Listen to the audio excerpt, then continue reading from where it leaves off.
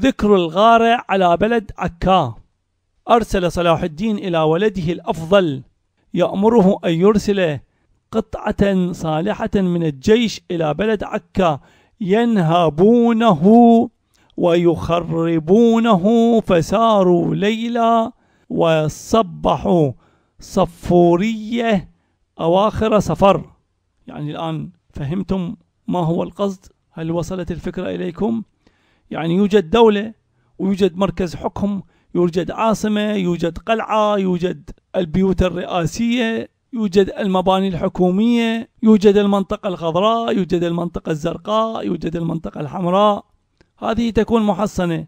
والأماكن الأبعد البلدات الأبعد القرى الأبعد ليس فيها ذاك التحصين.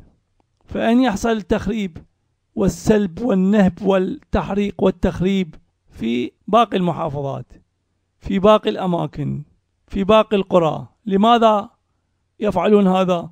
هذا كضغط على من؟ على الحكومة على المركز على من في القلعة على من في المنطقة الخضراء لتأجيج الرأي العام لكسر المعنويات هذا الذي يسمى بالأرض المحروقة أو أحد مصادق الأرض المحروقة وأحد تطبيقات الأرض المحروقة. يكمل. يقول أرسل صلاح الدين إلى واديه الأفضل يأمره أن يرسل قطعة صالحة من الجيش إلى بلد عكا ينهبونه ويخربونه. فساروا ليلا وصبحوا صفورية أواخر صفر فخرج إليهم الفرنج فالتقوا هناك وجرت بينهم حرب فانهزم الفرنج وقتل منهم جماعة وأسر الباقون. ونهب المسلمون ما جاورهم من البلاد. هؤلاء ليسوا من المقاتلين. يقول ونهب المسلمون ما جاورهم من البلاد. وغنموا وسبوا وعادوا سالمين وكان عودهم على طبرية وبها القمص فلم ينكر ذلك فكان فتحا كثيرا. لماذا لم ينكر القمص؟ لأنه تحالف مع صلاح الدين. وصار في طاعة صلاح الدين. وينتظر أن ينتصر صلاح الدين فيصير ملك الفرنج له يصير ملك بيت المقدس له للقمص حسب الاتفاق مع صلاح الدين.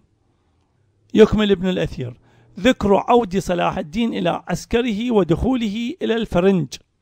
لما أتت صلاح لما أتت صلاح الدين البشارة عاد عن الكرك إلى العسكر وقد تلاحقت سائر الأمداد والعساكر واجتمع بهم وساروا جميعا فعبأ عسكره قلبا وجناحين وميمنة وميسرة وسار على تعبئة. وكان القمص قد انتمى إلى صلاح الدين كما ذكرنا وكتبه متصلة إليه يعده النصرة ويمنيه المعاضدة. فلما رأى الفرنج اجتماع العساكر الإسلامية وتصميم العزم على قصد بلادهم أرسلوا إلى القمص البطرك والقسوس والرهبان وكثيرا من الفرسان فأنكروا عليه انتماءه إلى صلاح الدين وقالوا له لا شك أنك أسلمت وإلا لم تصبر على ما فعل المسلمون أمس بالفرنج. يقتلون الداوية والإسبتارية ويأسرونهم ويجتازون بهم عليك وأنت لا تنكر ذلك ولا تمنع عنه.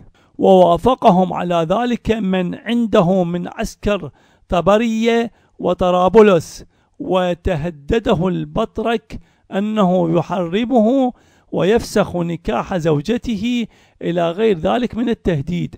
فلما رأى القمص شدة الأمر عليه خاف فاعتذر وتنصل وتابه